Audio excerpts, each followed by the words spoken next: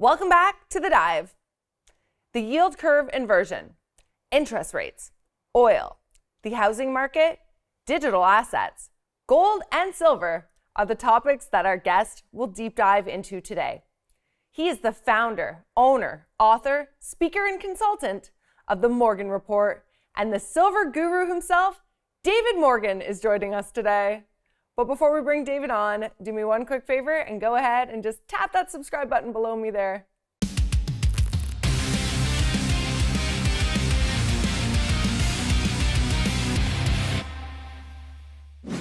Hey, David, nice to see you. Welcome back to the dive. Well, it's good to dive back into the dive, Cassandra. Thank you. Okay, so let's start with the global bond market.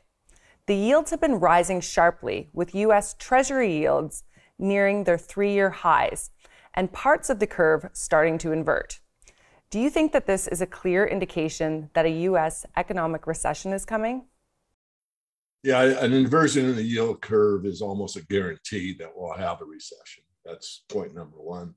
Point number two, as I've said many times, the bond market is the key because the credit markets or the debt markets are the most important aspect of this financial system. So when that starts to break down or come into question, that basically shakes the foundation of the whole system. And it doesn't mean the end, but it's happened over and over through history. It's a kind of a repeat.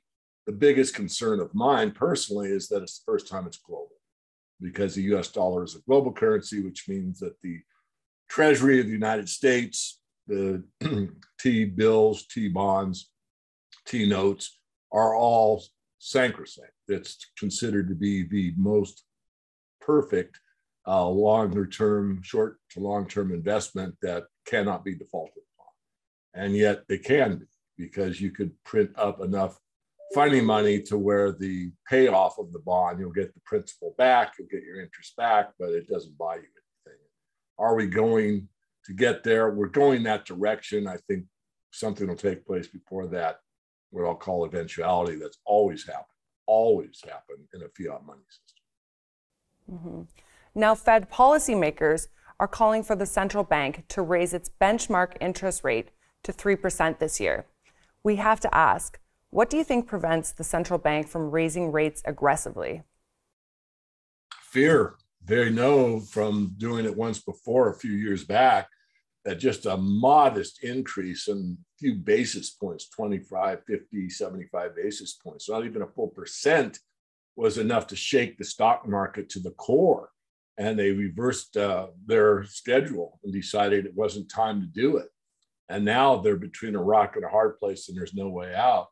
In order to curb inflation, they must push uh, interest rates higher.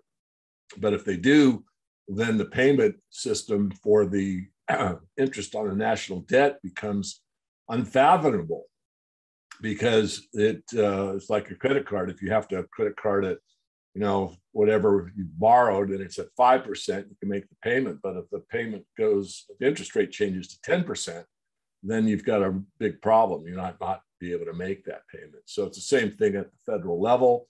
And it's very, very problematic. And anyone that's in finance really knows this. Governments know this. Politicians know this. But it's a big, uh, you know, elephant in the room that everyone's ignoring. No one's actually facing the music and they just continue to delay it. But as I just said and repeat, the delay is over. So it'll be interesting to see if they can get to 3%. If they do, then will that help? Not when inflation's running at their number at 7%. The only way to curb inflation is to put the real rate above the inflation rate. So that would mean you've got to be 7% by their numbers just to be yielding a true rate of return of zero. So if you got a 7% return on a coupon and it's 7% inflation, you're netting zero. So to get it above that, like Volcker did in 1980, when inflation was running 13%, he pushed interest rates up 17 to 20%. Will that ever happen again? The answer is absolutely not. There's no way it could happen this time. Hmm, okay. Okay, so let's move on to oil here. The European Commission is set to unveil a detailed plan in May to stop buying Russian fossil fuels by 2027 in response to the invasion of Ukraine by Russia. This means that they are cutting 40% of EU gas. Do you think that this is realistic?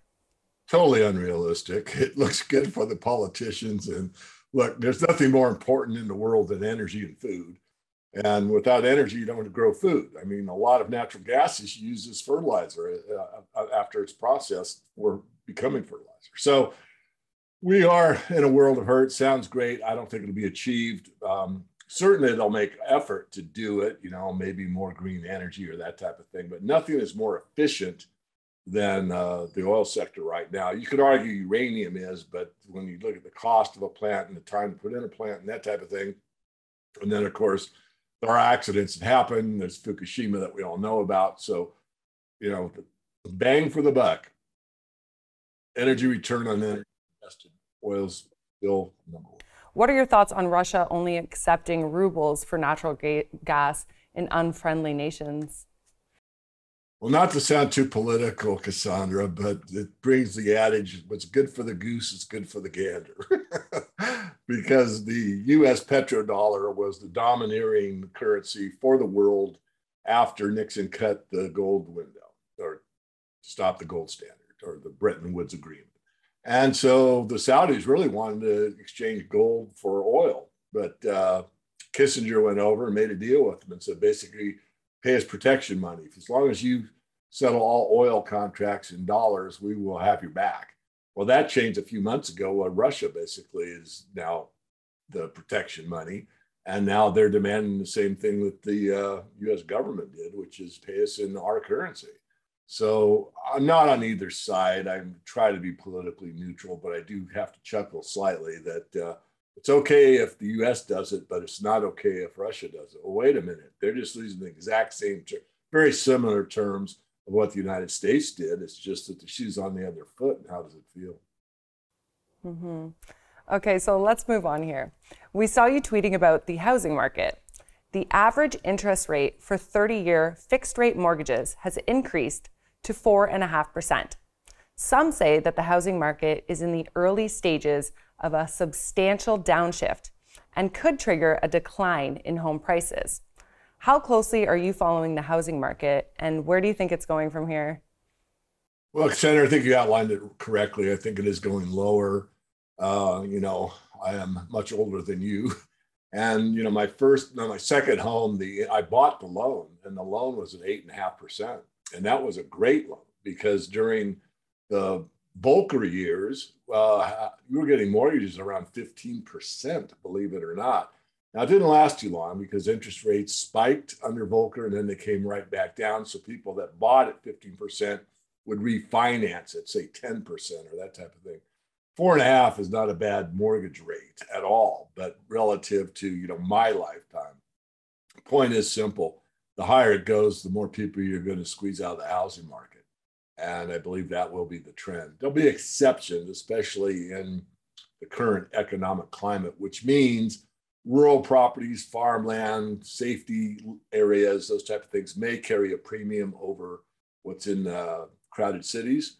So I expect the most to be hurt will be um, high density populations and probably less hurt or maybe even maintain an upward trend possibly would be uh, more rural property.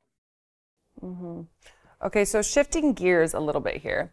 Thailand has issued rules to ban digital assets from being used to pay for goods and services from April 1st onward, due to the possible impact on the country's financial stability and the overall economy. Do you think that this will be a trend with other countries? I do. I think the whole crypto space has been um, questioned uh, by a lot of people, myself being one of them not against it. In fact, I'm almost certain it's the future. I think that the central banks will come up with the CBDC, central bank digital currency, but they're going to regulate the ones that exist. They may um, make them null and void in some cases.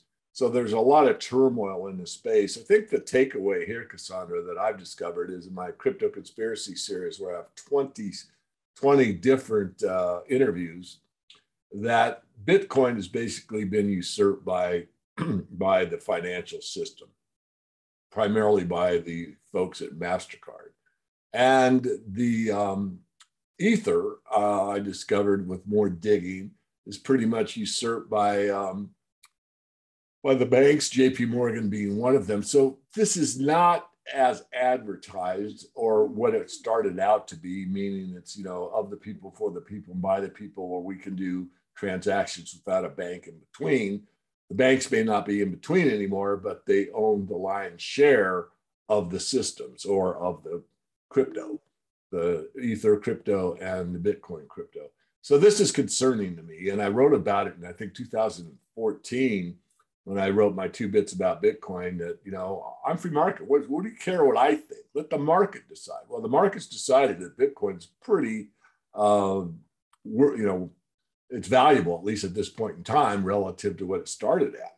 However, again, you know, who owns it? It's uh, unfortunately, from what I read, the original white paper, more of a distributed, meaning wide base, small people, whatever. And was it going to be um, taken away by the by the big money players? But it has.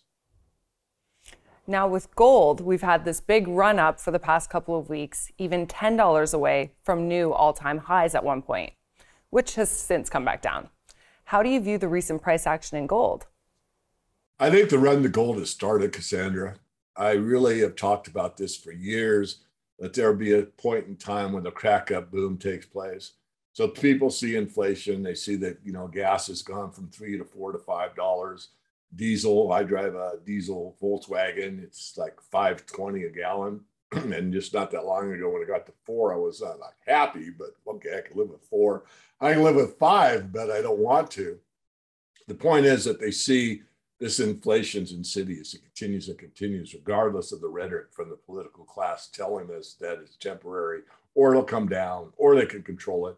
And so people will start to spend their money and that will increase the velocity of money. And it'll be primarily for needs. It'll be food, shelter, uh, you know, gasoline, utilities. There won't be a lot of extra capital there for vacations or that party dress or whatever most people, you know, can afford going back a few years. So that's the system that we're in. And once that psychology takes place, it's as an Austrian, it's a function of how much money they pumped into the system.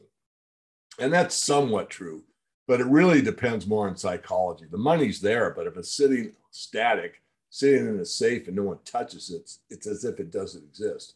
But when the money's there and the people say, I got to get rid of this fast, I got to buy something now because it's going to cost me more later. Once that psychology hits, it's really hard to turn it off. Now, I lived through that and I watched that psychology change as a young person. And I saw almost everybody was buying something automobiles, mostly it was investments and primarily the precious metals in those days that people were running to it because they knew that costs would be higher and higher and higher. And Volcker had the guts to step in and say, all right, inflation's at 13 we'll make the bond at you know 17 you're going to get a real return. It just killed the gold market and brought things back into let's say normal. But again we couldn't do that today it'd be impossible mm-hmm. now of course we can't let the silver guru go without talking about silver what are you seeing in the silver markets right now david Oh, the doldrums. It's really got a lot of people like ho hum. Come on. you know, but uh, under the current conditions, with gold leading the way, and I think a lot of people coming into the gold market, silver will follow. I do still believe silver will outperform. And I think a lot will depend uh, to forecast what happens this year.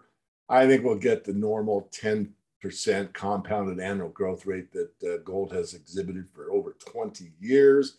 So if you take the baseline at 2000 and take 10%, we're looking at $2,200, $2,300 gold. I think that's at least what's going to happen. Probably the same return in silver. So you can take today's 25 and add 250. But at some point, and it could be this year, there will be the run the gold will go from a quiet walk to a jog, and then from a jog to a run, and from a run to a sprint. Now that's probably over the next few years but the trend is in place and it will continue. So anything can happen.